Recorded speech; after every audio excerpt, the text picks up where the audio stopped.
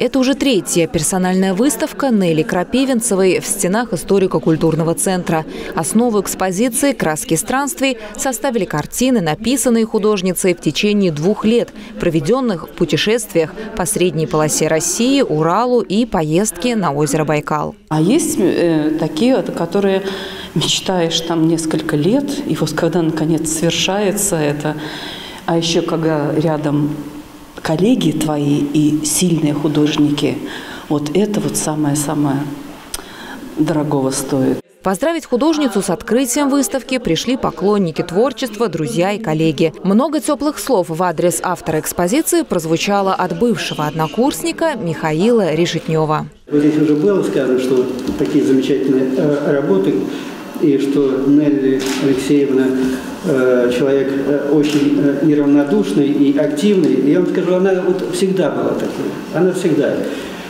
Мы с ней какие только не делали мероприятия в том же художественном училище. И сейчас мы встречаемся и проводим пленеры вместе. В нескольких залах центра разместилось более 60 пейзажей и натюрмортов, выполненных в любимой технике художницы – масляной живописи. Это самая благодатная техника и, в общем-то, не самая сложная, потому как здесь можно и исправить, и записать, в отличие от акварельной. Вот, э, поэтому для меня она а, более удобная знакомая, привычная. Цветочные букеты, пейзажи с разливами рек и бескрайними полями и лесами раскрывают многоликую красоту огромной России. Ну вот первое впечатление, мне все очень понравилось. Такие яркие, нарядные, сочные работы. Вообще автор потрясающий.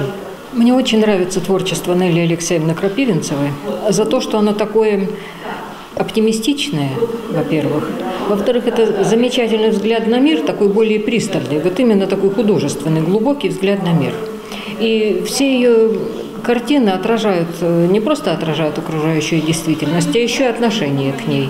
Выставка «Краски странствий» предлагает зрителю увидеть и понять как бытовое, так и более глубокое содержание этих произведений, открыть красоту и тайный смысл окружающего нас мира. Наталья Буслаева, Александр Логинов, Ольга Садовская, Видное ТВ.